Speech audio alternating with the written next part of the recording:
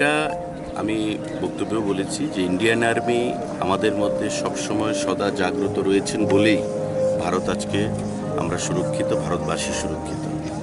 এবং ত্রিপুরাতেও আমরা দেখেছি বিগত দিনে যে ইন্ডিয়ান আর্মি সেই বাংলাদেশের সঙ্গে আমরা যে যখন যুদ্ধ হয়েছিল, পাকিস্তানের সঙ্গে সেভেন্টি ওয়ানে তখন যে ভূমিকা নিয়েছিল ত্রিপুরাকে রক্ষা করার জন্য, ত্রিপুরার জনগণকে রক্ষা করার জন্য এবং ভারতকে অখন সুরক্ষিত রাখার জন্য শুধু যুদ্ধটা শুধু সামাজিক বিভিন্ন কর্মসূচিতেও তারা নিজেদেরকে জড়িয়ে রেখেছে।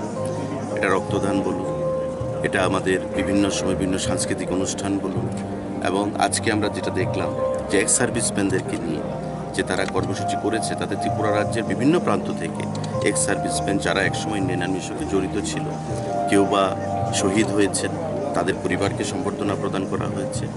মানে ইন্ডিয়ান আর্মির সঙ্গে যারা একবার যুক্ত হন তারা কখনো হারিয়ে যান না। এই বার্তাটাই তারা আজকে এই কর্মসূচি থেকে প্রদান করেছেন। এবং আমি এখানে ব্রিগেডিয়ার নীলেশ আছেন, Nilesh Chowdhury. Brigadier Neil John রয়েছেন, যিনি মণিপুর থেকে এসেছেন। এবং অন্যান্য যারা আধিকারিকরা রয়েছেন, এদের বিভিন্ন সময় যে কর্মপন্থা, সেনাবাহিনীকে কীভাবে জনগণের সঙ্গে বন্ধুত্বপূর্ণ সম্পর্কে আবদ্ধ করা যায়, তারই আজকে কর্মসূচি হচ্ছে একটা গুরুত্বপূর্ণ প্রতিফলন। তো আমরা ভারতবর্ষের এই সেনা, পৃথিবীর একটা শক্তিশালী সেনাদের মধ্যে অন্যতম ইন্ডিয়ান আর্মি এবং ইন্ডিয়ান আর্মি শুধু যুদ্ধ জয় করা নয়, ভারতবর্ষকে বিভিন্ন সময় বন্যা, বিভিন্ন সময় আমাদের যে ড্রাউট বা বিভিন্ন প্রাকৃতিক যে গোলযোগ, দুর্যোগ সেই সময় সেই পরিস্থিতি থেকেও মানুষকে রক্ষা করার জন্য গুরুত্বপূর্ণ ভূমিকা পালন করে।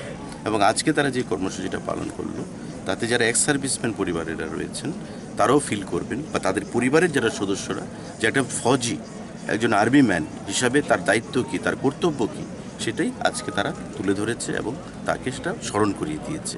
তো আমি ধন্যবাদ জানাব প্রত্যেককে তাদের এই কর্মসূচির জন্য।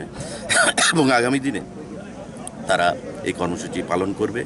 এবং আজকে আমরা আরও খুশি যে এক্স সার্ভিসম্যান ফ্যামিলিদের চিকিৎসা ব্যবস্থার জন্য আমাদের ক্যান্সার হাসপাতাল এবং আগরতলা গভর্নমেন্ট মেডিকেল কলেজ তারা ক্যাশলেস ব্যবস্থা চালু করেছে এবং দুপক্ষের মধ্যে মমতা সেখানে হয়েছে। এটা আগামী দিনে স্বাস্থ্য ব্যবস্থায় তাদেরকে একটা গুরুত্বপূর্ণ সুবিধা দেবে।